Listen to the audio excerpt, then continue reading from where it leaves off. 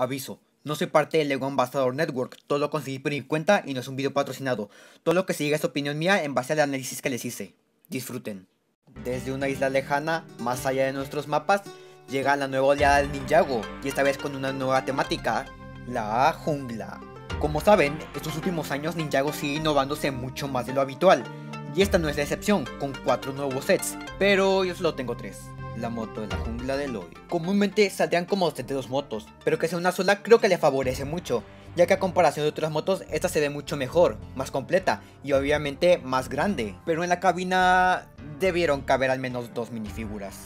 Bien, tiene varias funciones como la cabina y el escape que puede moverse, y lo mejor, un deslizador al estilo de un catamarán que se puede desprender de la misma moto para poder ser más ágil y atacar a varios villanos a la vez o usa estos shooters. Me gustaría ver algo así como que Lloyd saltara de la cabina directo hacia un Thunder Keeper. O, que es un Thunder Keeper? Los nuevos villanos, los Thunder Keeper, me gustan. Tienen una temática tiki o de tribu antigua. En especial esa cara agresiva, donde parece que los rayos cambian conforme sus emociones. Y esa lanza listo para atacar. Los ninjas me encantan. Esos nuevos trajes al puro estilo de los exploradores, como Clutch Powers tal vez. Y con esos nuevos cabellos con bandas que van a ser muy recurrentes en esta oleada, uff. Antes de continuar, les aviso que tenemos un patrocinador, Coffee with the Ninjas, un servidor donde hablamos de Lego, en especial de Ninjago. Hay llamadas seguidas y muchos canales más, como memes, comandos, música, lugares donde compartir tu arte e incluso juegos como Minecraft y Fortnite. Sin mencionar que tenemos cinema los fines de semana. Así que, ¿qué esperas? Únete a Coffee with the Ninjas, link en la descripción. Dragón de la jungla. Ninjago tiene muchos dragones, pero este se siente diferente. Un dragón salvaje que no le pertenece a ningún ninja. Y parece que el vivir en la selva le favoreció. Mira esos dientes, descuidados, pero más grandes y más potentes, tal vez para comer cosas más resistentes. También en las garras parece tener unas esposas, como si estuviera encadenado por alguien. Me gusta ese color turquesa y dorado como color secundario. El nuevo Sein me gusta, en especial con su nuevo cabello emplateado y su traje descubriendo su fuente de energía. Y el set incluye una sidewheel, un deslizador, que otra vez otro catamarán, pero al menos podemos tener estos dos volando lado a lado.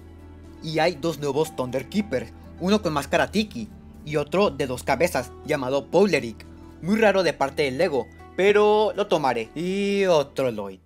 La Villa de los Guardianes. Posiblemente el mejor set de la oleada, la Villa de los Guardianes. Es una base donde los Keepers pueden proteger el amuleto. El coleccionable que vas a ver mucho. La base rocosa y un trono de hueso arriba y unas escaleras para subir. También viene una extensión llena de trampas, donde los ninjas serán capturados uno por uno. Uno con munición y otro con una red hacia unas púas. También agradezco la continuidad de los sets, como este letrero que nos alerta de alguien. Dentro de la cueva hay un caldero donde hay fruta y agua y una entrada secreta o tal vez una salida y una celda donde podrás encerrar a los ninjas e incluso se puede abrir y poder jugar o usas el escape secreto y se van más fácil. Luego están las escaleras donde al subir te encuentras con un trono donde se encuentra el villano principal, Chief Mamatus y uff, este es un diseño de personaje, ese casco al estilo de los aztecas antes de la conquista, con su lanza capaz de lanzar un rayo, y aún falta más, el amuleto tiene un uso, despertar, el tótem de las tormentas. Dentro de la serie aparece muy poco, no tengo idea porque lo desaprovecharon.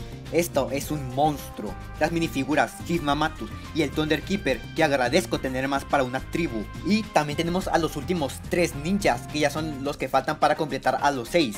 Kai con un nuevo diseño y sus dos machetes, Jay con uno de sus mejores trajes lleno de bolsillos con artefactos, medicinas o plantas y su nueva arma siendo un Kusarigama y Cole siendo exclusivo que no tiene un buen diseño de traje pero me gusta su estética y con un arma parecida a una Naginata. Como siempre, Ninjago no decepciona. Esta oleada fue de hecho muy buena, pero siento que le faltó a alguien, Twitchy, el compañero de la temporada, que pudo aparecer en la batalla de los catamaranes, pero ya veo por qué no lo pusieron. Mucho del presupuesto se fue a Legacy y su aniversario, al menos en la primera mitad del año. Así que esto fue La Isla. Fue muy buena, pero no grandiosa. Esperemos que le siga a Ninjago en el futuro.